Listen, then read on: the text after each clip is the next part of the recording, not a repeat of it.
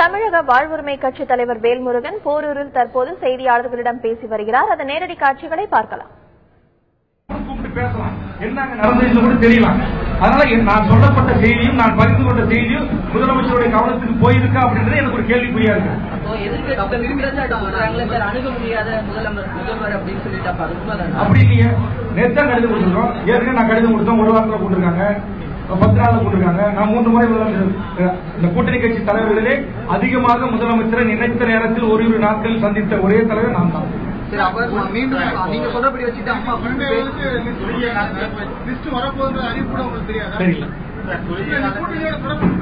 பேசிட்டு இருந்தா நாங்க அம்மா கிட்ட சொல்லிட்டு நான் என்ன சொன்னேன்? முதலமைச்சர் கிட்ட போய் நான் சந்திக்க விரும்புறேன்னு சொல்லுங்க. அம்மா கூப்பிட்டாங்கன்னா நான் பதினோரு தொகுதியா ஒன்பது தொகுதியா ஏழு தொகுதியா இரட்டை இலட்சணத்துல போட்டி போடுறதா என்பதை நான் ஒரு கூட்டணி கட்சி தலைவர் என்ற முறையில் நான் அம்மாவோட பேசி முடிவு எடுத்துக்கிறேன் நான் குழு கிட்ட சொன்னேன். அவங்க போய் இந்த தகவல் அம்மா கிட்ட சொல்லிட்டு உங்களுக்கு கூப்பிடுறேன்னு சொல்லிட்டு போனாங்க. கூப்பிடல. அதுக்கப்புறம் இல்ல தான் இப்ப நான் கடிதம் கொடுத்துருக்கேன் நேத்தி நேத்தி- கொடுத்துருக்கேன் கடிதம். இல்ல அதெல்லாம் வந்து இப்ப நாங்க சொல்ல முடியாது. கண்டிப்பா ஊரிய மரியாதை அதான் சொல்றேன் ஊரிய மரியாதையுடன் இடத்தை தான் கேட்போம்.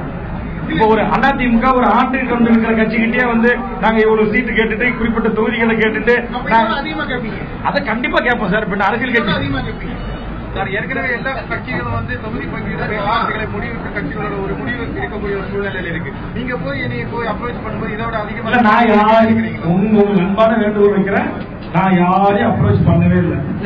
பண்ற பட்சத்துல கண்டிப்பாக என்னுடைய வலிமையை உணர்ந்து என்னுடைய தன்மானத்தையும் என்னுடைய சுயமரியாதைக்கும் பங்கு வராத ஏற்படுக்கு என் தலைமையை ஏற்றுக்கொண்ட என்னுடைய முன்னணி தலைவர்களையும் என் கட்சியினுடைய தொண்டர்களையும் மதித்து அரவணைத்து சுயமரியாதை நடத்துகிற எண்ணம் உள்ளவர்கள் எங்களை அழைத்தால் நாங்கள் அவர்களோடு சேருவதை குறித்து அதிகாரப்பூர்வமா பேசுவோம். இல்லை என்று சொன்னால் நாங்கள் தனித்து போட்டியிடுவதை குறித்து முடிவு செய்வோம். என் கட்சியுடைய தொண்டர்களுடைய வாக்கு ஓட்டெடுப்புக்கு இணங்க அந்த அந்த வேலை நடக்கும். எக்காரணத்தை கொண்டும் எங்களுடைய சுயமரியாதையும் எங்களுடைய அடிப்படை கொள்கையையும் வெறும் சீட்டுக்காக வேறு பதவிக்காக நாங்கள் யாரிடத்திலும் அவ்வளவு எளிதில் சென்று நாங்கள் அதை அவர்களோடு கலந்து விட மாட்டோம். ரொம்ப தெளிவா இருக்கிறோம் ஒரு பாடம் ஒரு அனுபவம் மிகப்பெரிய படிப்பினையை எங்களுக்கு தந்திருக்கிறது. அது எங்க கட்சியினுடைய வலிமையை பொறுத்து சார். நாங்க நான் சொல்றேன் உங்ககிட்ட இருநூத்தி முப்பத்தி நாலு தொகுதிகளிலும் போட்டியிட வேண்டும் என்பது எங்கள் கட்சியினுடைய தொண்டர்களுடைய ஆசையாக இருக்கிறது.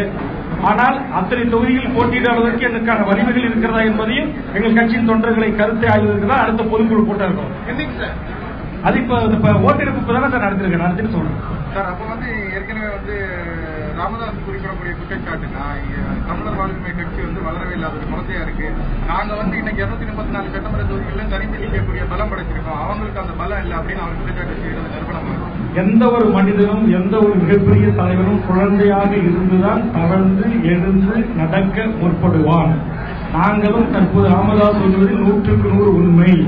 அவர் கட்சியிலிருந்து எங்களை அடிப்படை உறுப்பினராக நீக்கிய போதுதான் இந்த பா- தமிழக வாழ்வுரிமை கட்சி என்கிற குழந்தை இதே இடத்தில் உங்கள் முன்னால் பிறந்தது. இப்போது இந்த குழந்தை பிறந்து வளர்ந்து எழுந்து நடக்க ஆரம்பித்திருக்கிறது.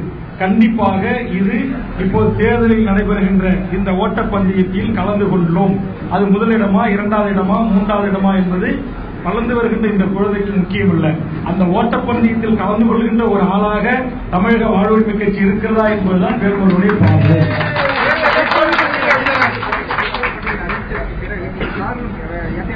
அந்த குழு கூட நீங்க என்ன அந்த குழு வந்து அந்த அவர் என்ன என்கிட்ட தொடர்பு கொள்ளல. அந்த குழுவினுடைய அவருடைய தாங்க தொடர்பு கொண்டோம். அந்த மூத்த குழுவுடைய தலைவருடைய உதவியாளர் இருந்தாரு அண்ணன் வந்து கூட்டு அம்மா அம்மாவோட பேசிட்டு இருக்காரு. வந்த உடனே உங்களுக்கு தகவல் சொல்லிட்டு உங்களுக்கு திருப்பி கூப்பிடுறோம் அப்படின்னு சொல்லியிருக்காங்க இன்ன வரைக்கும் கூப்பிடுறாங்க இப்ப நாங்க கேட்கறது இனிமேல் அவங்க கிட்ட எங்களுக்கு இத்தனை சீட்டு தான் இத்தனை ரெட்டரை தான் அப்படின்ற குறித்து கூட பேசுறேன். குறைந்தபட்சம் நீங்க கேட்ட கேள்விக்காக நான் சொல்லுறேன் குறைந்தபட்சம் அனைத்திந்திய அண்ணா திராவிட முன்னேற்ற கழகை ஒரு கூட்டணி தலைமையை ஏற்றுக்கொண்டு பேச வந்த அந்த தலைமையோடு நீங்கள் எங்கள் கூட்டணி இல்லை உங்களுக்கு இடம் இல்லை உங்களை வெளியேற்றுகிறோம். நீங்கள் உங்கள் பாதையை தீர்மானித்துக் கொள்ளுங்கள் என்று கூட சொல்லலாம்ல. இது சொல்றது அவங்க ஒன்றும் சங்கடம் இல்லையா. அதை வந்து நேரடியா சொல்லலாம் கூட தொலைபேசி வாயில கூட சொல்லலாம். அப்படி சொல்லவில்லை என்றால் தான் நாங்கள் அடுத்த கட்ட முடிவு எடுப்போம் சொல்லிட்டோம். சார் கூட்டணி முடிவு முடிஞ்சிருச்சா? இல்ல காத்துட்டு இருக்கீங்க காத்துக்கலாம் இல்ல சார். பூட்டிட்டாங்க கதவு நீங்க சொல்லாம நேரடியா சொல்லாம அதிமுக நான் வெளியேறல சார். அது நான் வந்து ஒரு பெரிய கட்சியை நான் அவமானப்படுத்திட்டு நான் ஒரு மே- மே- மேலாதித்தனத்தோட இவர் கட்சி ஆரம்பிச்சு நாலு வருஷத்துல பதினாலு சீட்டு கட்டி வெளியேற்றாருமாங்க நான் கேட்டேன் பேச்சுவார்த்தை நடந்து கொண்டிருந்தது.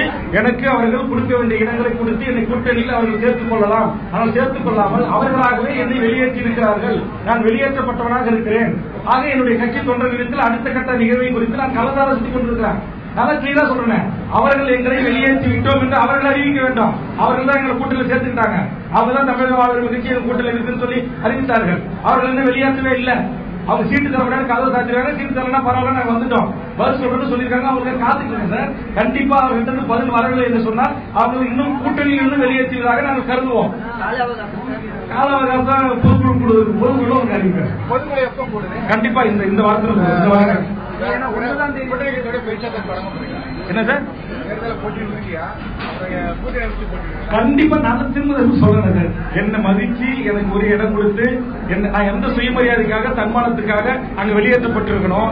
அதுக்கு பங்க வராத அளவுக்கு என்னை நடத்துகிற கூட்டணி கட்சி தலைமையோடு பேச்சுவார்த்தை தொடரும் சார்.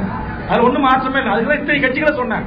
எனக்கு எந்த கட்சியும் எதிரி இல்ல அதுக்குதான் நான் எங்க தொண்டர்கள் சொன்னேன் நமக்கு எந்த தமிழ்நாட்டில் எந்த கட்சியும் எதிரில்லை எந்த சாதியும் எனக்கு எதிரில்லை எந்த மதமும் எதிரில்லை நான் தமிழகத்தில் வாழ்கின்ற அனைத்து விதமான மக்களின் வாழ்வுரிமைக்காக தான் நான் போராடுறேன். அதனால எந்த கட்சி வேண்டுமானாலும் என்னை அணுகலாம் எந்த கட்சி வேண்டுமானாலும் என்னோட பேசலாம். ஆனால் எங்களுக்குன்னு ஒரு அடிப்படை கொள்கைகள் இருக்கு. அந்த அடிப்படை கொள்கைகளோடு கூடிய எங்கள் கட்சிக்கான சுயமரியாதைக்கு பங்கு வராத அளவுக்கு உங்களுக்கு தெரியும்.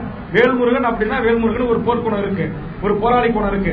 மருத்துவர் ராமதாஸை எதிர்த்து முப்பத்தி ஐந்து வன்னியர் தலைவர்கள் வெளியேற்றப்பட்டிருக்கிறார்கள். எவர்களும் கட்சி தொடங்கி ஆறு மாதத்திற்கு மேலாக நின்றதாக வரலாறு இல்லை. அந்த வரலாறை வேல்முருகன் உருவாக்கி கொண்டிருக்கிறார். அதனால் அதுக்கு பங்கு